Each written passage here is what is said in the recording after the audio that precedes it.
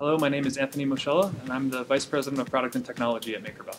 3D printing is a technology that allows you to realize physical models of objects from a, from a virtual file.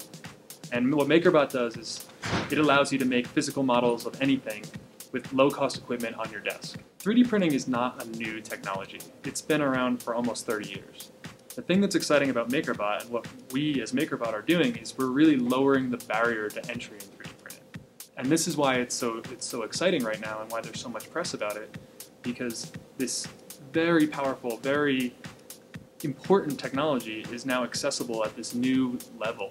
And all kinds of new markets are adopting and starting to experiment with how 3D printing and additive manufacturing can disrupt the way that they work.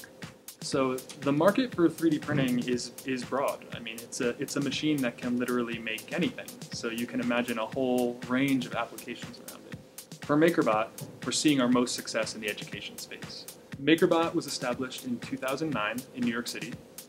Uh, I joined the company in 2010, and it started literally in a garage, like all the best startup stories.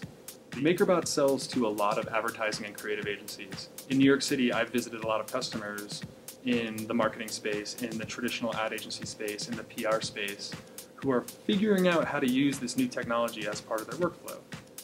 Creatives, creative people in general, immediately see the value of having a piece of equipment that lets them realize their ideas quickly. And beyond that, with the hype and the energy and the, the excitement around 3D printing, 3D printing itself becomes a part of the marketing story. 3D printing can be a, a, useful part of it, and agencies are finding really creative ways to use it. Going from idea to concept to physical object in a matter of minutes is so powerful, and it's so it's so real with a 3D printer. And so when you put this technology and this, this really simple workflow in front of creative people of every discipline, they find new ideas, they find new ways of using it.